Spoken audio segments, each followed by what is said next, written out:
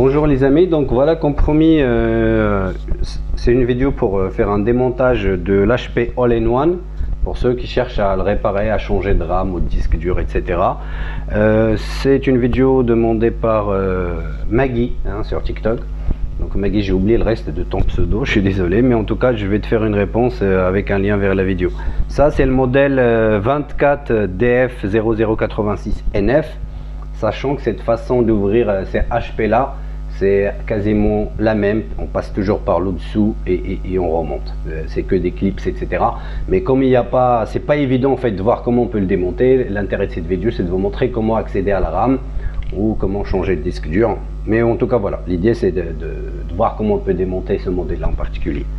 Donc la première chose à faire, c'est que vous allez mettre l'appareil, prendre, tu vois, dans ce sens-là, vous essayez d'enlever cette barrette là.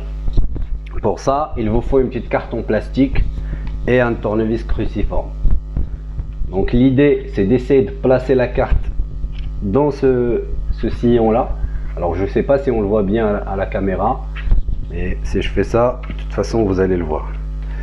Il faut, la, partie la plus difficile, euh, c'est de réussir déjà dans un premier temps à placer la carte. Voilà, voilà, tu vois? Euh, c'est une série de clips. Tu vas doucement. À chaque fois que ça bute, tu essayes de soulever un petit peu et tu pousses avec la carton plastique. Et voilà, tu vois. Le but c'est d'enlever cette partie. Donc ce que tu fais, c'est que tu vas le faire basculer comme ça pour avoir accès aux deux vis. En as une là et une là. Avec un tournevis cruciforme, là tu enlèves les deux vis. Bien sûr, moi mes vidéos, c'est euh, des vidéos en direct. Vous, des fois, on peut tomber sur un os, sur une galère, hein, ça peut arriver. C'était le cas pour la, la cafetière euh, que j'ai démonté auparavant. Mais au moins, comme ça, vous voyez euh, le fait de démonter, le fait de démonter un appareil de manière authentique, en tout cas. c'est pas toujours, ça se passe pas toujours comme on le souhaite. Hein. Donc tu divises ça et voilà, ça vient. Et on a enlevé la partie basse. Donc on va mettre ça de côté. Pareil avec ta carte, tu vas essayer de venir essayer d'enlever cette bandelette là. D'accord? Cette bande là, on peut l'enlever en passant de ce côté là et en essayant de mettre la carte pareil entre, entre l'écran et cette partie. Tu vois? Là, c'est un peu dur. Alors, euh, il faut pas hésiter à pousser Mais utiliser uniquement, euh, uniquement une carte en plastique, c'est pour éviter de, casser quelque chose. Voilà, donc on a réussi à placer la carte. J'espère que c'est clair à la caméra. Eh bien, pareil, tu pousses.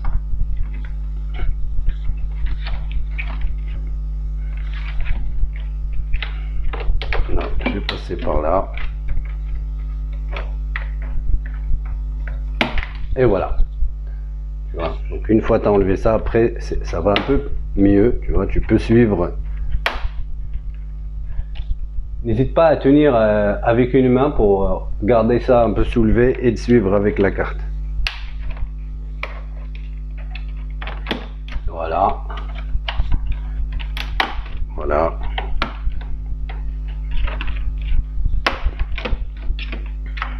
Et je crois qu'on a fait le plus dur. Donc déjà à ce stade-là, vous avez fait le plus gros. Et voilà, on a retiré la, bande qui couvre. Alors je montre, c'est la bande qui couvre cette partie. Tu vois Alors, oula, le zoom est un peu naze. Voilà. Donc là, on a accès à cette partie-là. On peut commencer à dévisser pour libérer l'écran. Donc pour libérer l'écran, on a ici, ici, ici, ici il faut le démonter pour par la suite d'éclipser l'écran. Et ben voilà, est-ce qu'on voit ça la caméra? Voilà, une petite vis ici. On va l'enlever. Essayez de, quand vous récupérez vos vis, de les mettre dans l'ordre pour ceux qui ont vraiment peur, moi je vous invite de prendre des photos avec votre appareil tout le long du process euh, du démontage Parce que par la suite, ça va vous faciliter le fait de savoir où va tel ou tel élément. Ça, c'est vrai que ça soit pour des, choses électroniques ou pour euh, des cafetières ou peu importe au fait l'objet qu'on démonte. Le fait de prendre des photos tout le long, c'est vraiment une astuce pratique pour ceux qui, qui n'ont pas forcément le schéma en tête ou qui oublient ou qui risquent de ne pas terminer l'objet parce que quand on le démonte, par exemple, aujourd'hui, on peut encore se rappeler de comment le remonter, mais des fois, on peut pas aller jusqu'au bout. On met, on met l'objet de côté et au bout d'une semaine, bah, malheureusement, on a oublié comment les choses été emboîtées. Je vais retirer aussi cette vis qui est en plein milieu. Tu vois, celle-là.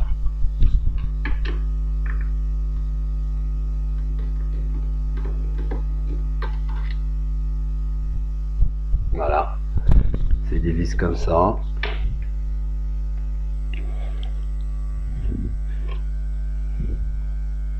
Alors logiquement, je vais juste le retourner pour voir ça en est où. Donc ça et ça, tu vois, c'est collé sur euh, cette partie-là, cette partie métallique. Ce qui veut dire que je vais aussi... Tac, tac. Je vais aussi enlever les deux vis qui sont ici. Une ici et une ici. Donc on a dit 1, 2, 3 au milieu, 4, 5, 6, 7. Il faut toujours être prudent quand on démonte, ça sert à rien de vouloir aller vite, franchement. Il faut vraiment prendre son temps. Moi, j'essaie quand même d'accélérer un peu la cadence pour que la vidéo ne soit pas trop longue pour vous. Je vais d'ailleurs profiter ici pour vous dire que euh, pour ceux qui découvrent notre chaîne, euh, en fait c'est une chaîne qui répond un peu aux questions de ses abonnés. Euh, ah, au départ, on a commencé sur TikTok et comme il y a un peu, euh, ah, les gens aiment bien en fait ce, type de tuto, donc on a dit, on, voilà, on va faire un truc sur YouTube. Alors, pour nous soutenir, ça serait chouette s'abonner. C'est bien évidemment le contenu vous est utile. Vous avez aussi des formations gratuites. Au fait, c'est des cours théâtre que j'essaye de vulgariser un petit peu pour les rendre accessibles au plus grand nombre en fait les amis dans le doute parce que j'ai cette partie plastique ici je vais quand même enlever toutes les vis qu'on voit ici histoire d'être sûr de ne pas faire de bêtises c'est pas grave les vis on peut toujours les remettre mais c'est juste histoire euh, histoire ne pas ne pas péter un, petit composant plastique euh, ou un truc comme ça alors déjà là vu que on a quand même pas mal avancé là-dessus. Je veux juste vérifier que l'écran n'est pas collé à ce châssis en plastique. Bah alors visiblement non. Visiblement non. Donc je vais essayer d'éclipser l'écran quand même.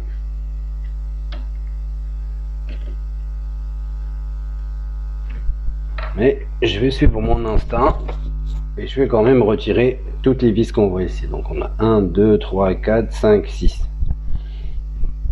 Ça ne mange pas de pain. Quand vous avez, euh, vous êtes devant un, cas comme ça, n'hésitez pas à, retirer les vis. Ça vous évite de faire une, bêtise, à casser quelque chose. Et une vis, on peut toujours la remettre. Alors que si vous cassez un, petit truc en plastique, après c'est compliqué quoi. Donc j'enlève tout ça. C'est juste que j'ai le souci de vouloir vous faire une vidéo rapide hein, pour que celui qui veut démonter son truc ne passe pas trop de temps sur la vidéo. Mais encore une fois, comme vous pouvez le voir, c'est en direct. Et euh, des fois, bah, je découvre en même temps que vous. Mais je me dis, je vais le faire, je vais le faire. Euh, bah, il vaut mieux que je partage ça avec les gens parce que je sais que ça peut être utile. Surtout éviter à quelqu'un d'autre de faire une bêtise. Parce que moi, malheureusement, des fois, quand j'essaie de réparer quelque chose, bah, euh, j'aime bien des fois avoir euh, le mode d'emploi ou les composants, ou au moins comment on peut démonter l'objet en question. Donc là, ça m'a l'air bon. Ah, déjà, ça allège un petit peu le sel. Et ici, au fond, vous avez 12 autres vis. Tu vois ça aussi, je vais l'enlever, histoire de jouer vraiment la sécurité jusqu'au bout j'enlève ça et j'enlève ça là on a bientôt fini les amis donc ensuite je vais retourner ça Et je vais essayer de voir si je peux ramener l'écran. Et toujours avec, euh, avec un, une petite un, un truc en plastique comme ça. Je vais essayer de commencer ici. Tu vois Et voilà. Alors j'espère que c'est clair. Ça se voit bien. Voilà. Je descends. Et voilà, je suis au bout. Tu vois, le plastique commence à venir. Et voilà. Et j'ai bien fait de retirer les vis au fond. Tu vois, parce que ce machin en plastique, il va jusqu'au fond ici et est collé par les deux vis en question. Et ça, c'est une bonne leçon parce que ça veut dire que euh, ce n'est pas parce que le modèle 22, il n'y avait pas toutes ces vis là. En fait, en vrai, il n'y avait qu'une seule vis. On, la démonte et ça vient tout seul.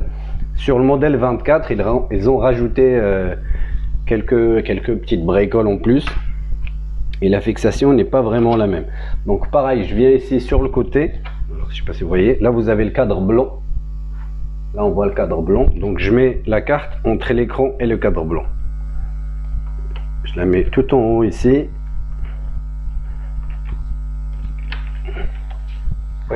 je dois démonter en même temps faire attention à la caméra. Est-ce que vous, voyez bien ce que je fais? Voilà donc là j'ai mis la carte entre les deux. Et pareil je vais descendre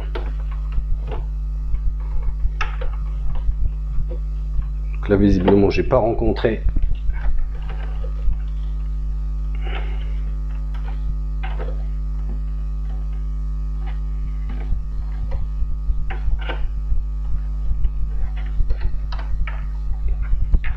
Je vais le retourner.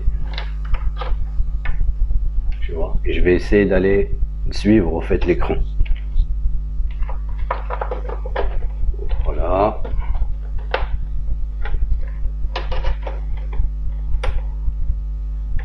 Pas à un coup d'œil à l'intérieur pour voir s'il n'y a pas un truc qui bloque. Et voilà. ce que vous voyez C'est juste histoire de vous montrer ça en cam, tu vois. Je suis tout le long ici, parce que tu as des petits crans plastiques. Et j'essaie de faire le tour. Là, j'ai réussi à libérer retourner l'écran pour que vous puissiez voir mieux.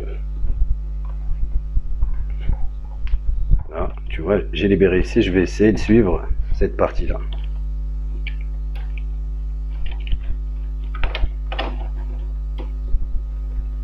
Voilà. Et je suis le truc.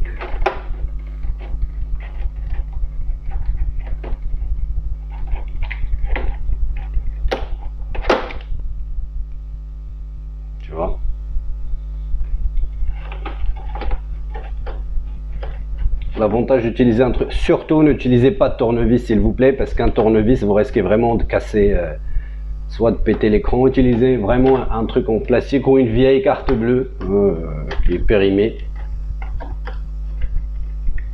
Mais surtout pas d'objets métalliques, etc. Parce que euh,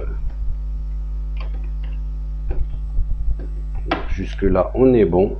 Je vais encore le remettre à plat.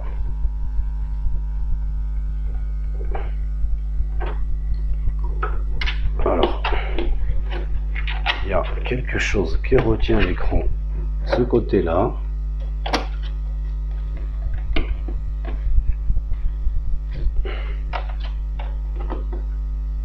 là on a une trappe en plastique. Je vais essayer quand même de l'ouvrir on sait jamais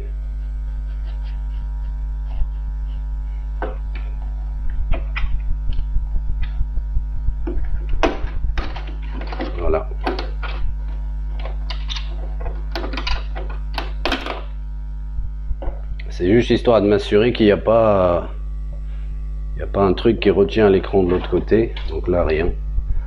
Tant mieux. À mon avis, il est toujours clipsé. Ce n'est pas grave. Bah désolé hein, les amis, c'est un peu long, mais euh, il faut ce qu'il faut. Donc je fais comme tout à l'heure, je repasse par là.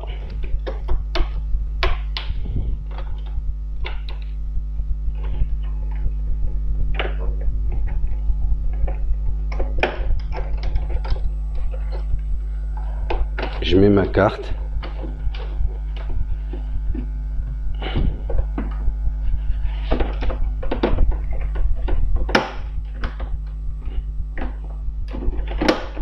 Et voilà. Donc c'est vraiment les clips qu'ils font enlever, c'est assez dur, mais euh, avec la spatule ou, la carte, ça va nickel. Vous voyez, donc là c'est ouvert. Ce que je vais faire, c'est que je vais le remettre à plat. Je vais essayer de vous montrer, déjà je vais essayer de vous montrer l'intérieur de cette manière-là. Tu vérifies au fait, tu as un fil ici qui va, qui va vers l'écran et tu as une nappe ici qui va vers la carte mère. Donc ce que je vais faire, je vais le poser dans ce sens-là. Je vais essayer de le tourner comme ça. Bien sûr, faites attention. Parce que là, la galère, c'est que je veux que vous voyez euh, par rapport à la caméra et en même temps, je veux pas arracher quelque chose. vous le mettez dans ce sens-là. Et hop. Et on peut... Voilà, on peut ouvrir dans ce sens-là. Et voilà les amis, comment euh, démonter le HP All-in-One. Donc là, vous avez accès à la RAM. La RAM se trouve ici. J'espère que vous voyez parce que mon téléphone je l'ai mis en, suspens. Je vous remontre quand même l'emplacement. La vis elle est ici. Voilà, ici. Et logiquement, il doit venir. Et on a une autre ici.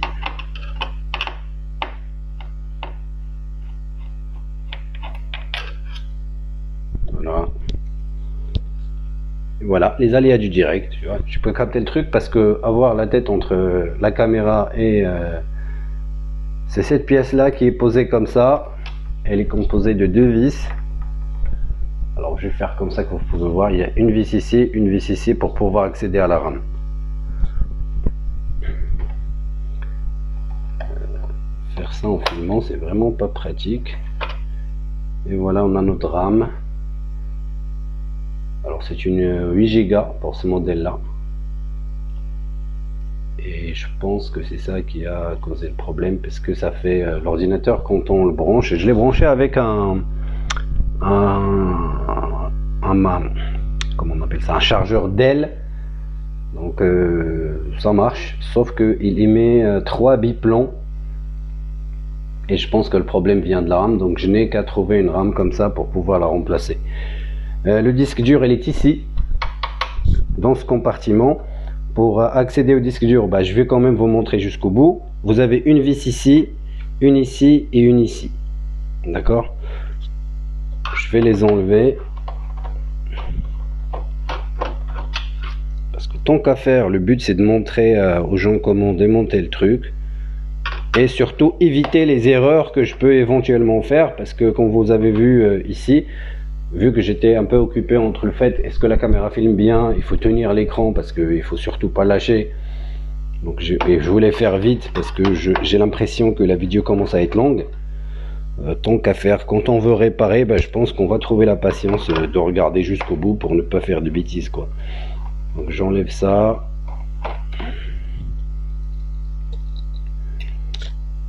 Alors,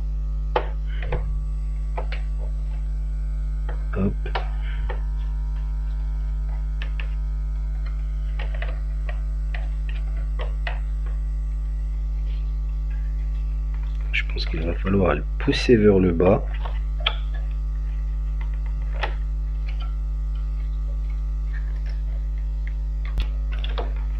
en tout cas, le HP, euh, au niveau des, des composantes, ils sont vraiment